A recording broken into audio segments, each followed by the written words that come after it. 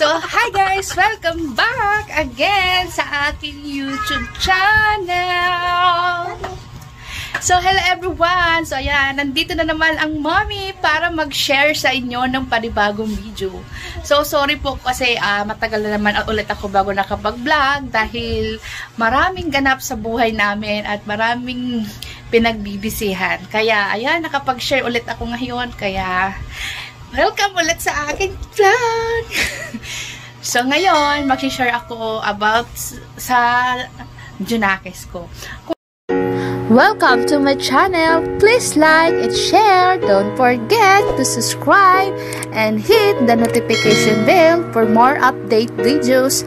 At please follow and like our Facebook page, Mary Angeline Permin Vlog. Thank you!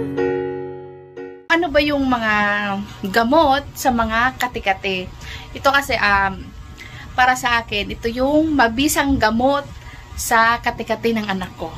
Ano ba to? Kaya, tapusin mo yung video para malaman mo. Kaya, let's watch this! Subscribe na and click the notification.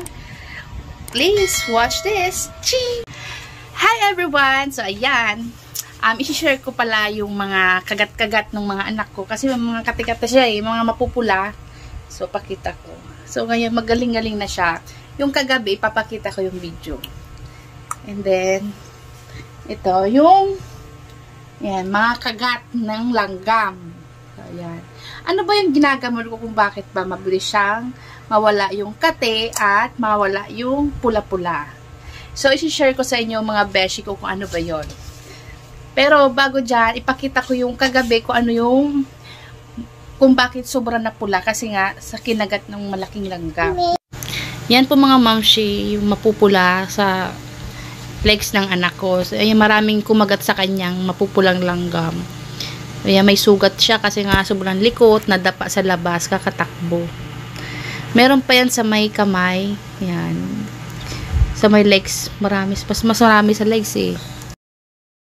So guys, ayan, isi-share ko na pala yung kung ano yung gamot ko sa Makati at mapula ng kagat, ay, yung mga kagat-gat sa anak ko. So ito nga pala yung kating ko. So ayan, magbisang gamot to sa mga kati-kati, yung mga kagat lang ng langgam, lamok, tapos um, yung mga rashes-rashes na gusto nyo mga kati, yung mga kung ano makati sa mga anak natin. Ito yung lagi kong ginagamot. Mabi, mabisa siya para sa akin. Kasi testing ko na siya mga beshi ko dahil simulat sa panganay ko and hanggang sa pangalawa, ito lagi kong ginagamot. Yan. Kating ko and pampatanggal ng pula-pula para tululoy na na siya mawala is ito.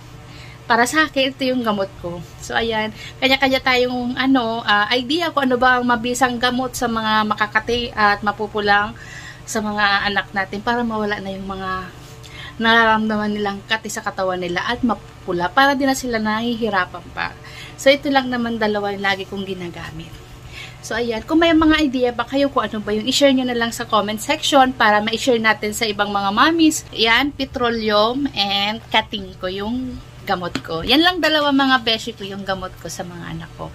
So, ayan. Thank you for watching. Sana nag-enjoy kayo sa vlog natin. Sorry po kung mukha lang yung napakita kasi yung anak ko nag nagdidedi sa akin. Kaya, ayan. Sorry po kung ulo lang. Sa sunod, uh, full body na. Chur! Kaya, ayun lang. So, ayan lang kung ano-ano man sinasabi ko. Kaya hanggang dito na lang yung vlog na, namin. Kaya thank you for thank you so much for watching this vlog. Sana nag-enjoy kayo at may natutunan kayo sa aming sa aking video. Kaya thank you for watching. See you my next vlog. Mwah!